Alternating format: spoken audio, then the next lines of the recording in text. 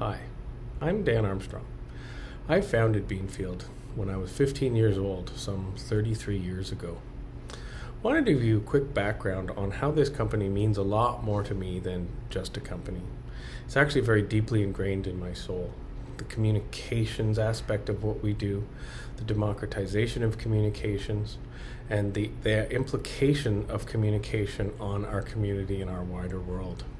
So I'll tell it through the lens of a bit of my personal history. So I was a very strange kid growing up. I certainly was not into sports. I did not get along with most of the friends in my immediate neighborhood, and I didn't really do that well in school. The technology of the day for social media was the CB radio. Obviously, the internet didn't exist and social media didn't exist, but these CB radios were a very primitive technology way for people to communicate outside their immediate geographic area.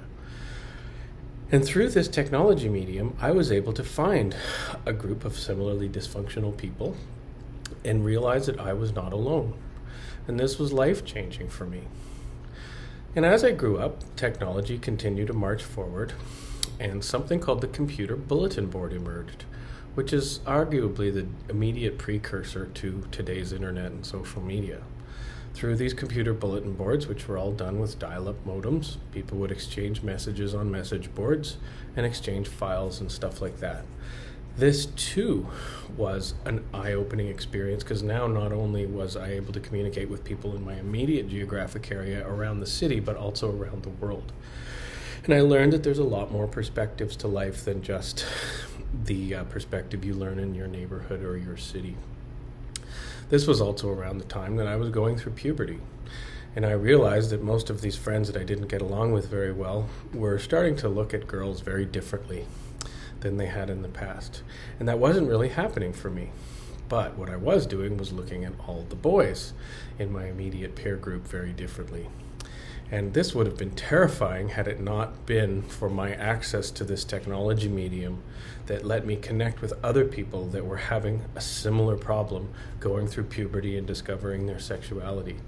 I don't know how people used to do this before technology. So, one of the reasons that I started Beanfield was because this was so important to me. I saw a very key business need to help democratize computing and bring it out of the halls of the large corporations and into the hands of everyone. Back in that day, mainframe computers ruled corporate computing. But there was these new personal computers that were starting to become very popular. But they weren't that useful because they were all isolated. So people started to figure out how to network them together. And once you network a bunch of personal computers together, they are very powerful. So that's what started Beanfield Technologies. It was all about the democratization of trying to bring computing power and connectivity to more people. Because I firmly believe that with understanding, we can solve all of the world's problems and we can understand if we have information and we can communicate with one another. So Beanfield obviously doesn't do computer networking now. So there was a leap at some point where I realized there was this cool internet thing coming around. We actually registered a separate company because we didn't know if it would be a fad or not and started dabbling in this new world of internet access. Well, needless to say, the internet became so popular it eclipsed the rest of the business and we became a full time internet service provider. Around the late 2000s, or the early 2000s, uh, most internet service providers who are operating over dial up infrastructure had to make a decision. Were they just going to become a reseller over the phone company, or were they going to lay their own lines? Now, it was completely preposterous at the time for somebody to think that they're actually going to lay cable alongside the phone company. But that's exactly what we did. I realized that if we were to become a reseller over the phone company's infrastructure, we would be absolutely identical to everyone else, and there would be no way to differentiate ourselves.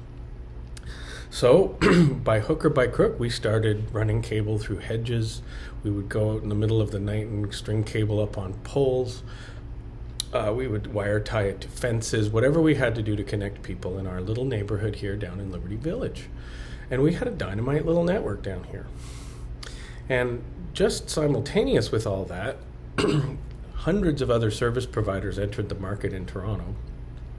Many of them, within a year or two, tanked and went bankrupt because there just wasn't the business that they had hoped for. But we were still standing here in Liberty Village. We had no debt because we were too stupid to borrow money, but we had this dynamite network that covered the whole neighborhood. And within a matter of two or three months, we actually managed to hook up almost every customer in the neighborhood. And then all of these bankrupt companies' equipment started showing up on eBay because they were trying to liquidate it. So we were able to buy multi million dollar routers for a few thousand dollars, and we really built up a very robust network. Of course, we weren't able to continue by wire tying cables to fences and running cables through hedges, so we went and got all of our licenses and access agreements with the city and Toronto Hydro, and we started building our beautiful network across the city. And we just built and built and built, and all of a sudden we realized this wasn't working. What the hell was going on? We would build in the distillery, we built in the downtown core, we built in the Bay Street corridor, and we would get one customer in a building, and that would be it. and of course, we didn't know what we were doing, so our answer to that was we were to double down on building. We spent tons and tons of money building into neighborhoods with one or two customers in the area, and we couldn't figure out what was going on. And it was only when we were on the verge of bankruptcy that we sort of took a step back and started to think about what worked here in Liberty Village. Well, everyone knew each other. Everyone went to the bar after work. Everyone went to the same coffee shop. Everyone helped and supported each other. Liberty Village was a community. But the rest of Toronto didn't have the same sense of community. So, what were we going to do? Well, we came to realize that a lot of large corporations do what they call is to verticalize their sales force. That sounds incredibly clinical and not something we wanted to do. But what that does do inadvertently is that there it does shine a flashlight on the fact that there are different communities in different places. They just are not necessarily geographic. For example, the VFX movie and screen industries are a community.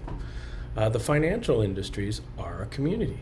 And if you reframe all of your thinking in terms through the lens of community, a community could be Liberty Village, a community can be a particular industry, all of a sudden that changes everything. And once we did that, we started to become wildly successful. So everything seems to have come full circle for me.